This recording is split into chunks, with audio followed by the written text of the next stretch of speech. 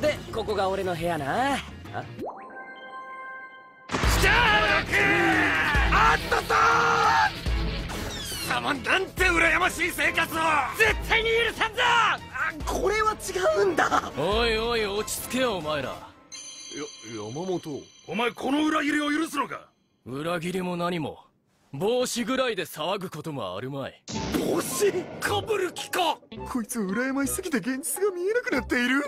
これは。ゆりくん罪悪か。なぜそう見える？お前も頭が北原のせいだぞ！俺が悪いのか？これはそのサークルの遊びで使ったものなんだ。そうなのか？そういえば小手川さんのサイズに合わないか？巨大だ。言われてみればそうだな。巨大だなまあ、考えてみりゃそもそも本物なわけねえや。もし本物だとしたら脱いだ人は帰り困るもんな。ノーブラで帰るなんて普通しないだろ。あの人普通じゃないから。まあ他に怪しいものは特に、うん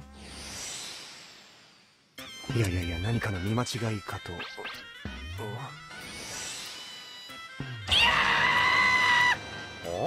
どうしたお前ら？いやいやいや何でもないんだ。こいつの持ち物絶対おかしいだろ女の影どころかヤバい闇が潜んでやがる。とりあえず気づいてないふりをしようぜ。のバイトを探してるのか？何か欲しいものでも？ダイビングって金がかかってさ。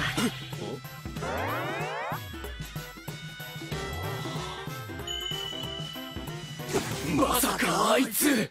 ととりあえず飲もうぜ。そそうだな。酒飲んで忘れよう。深く考えると怖い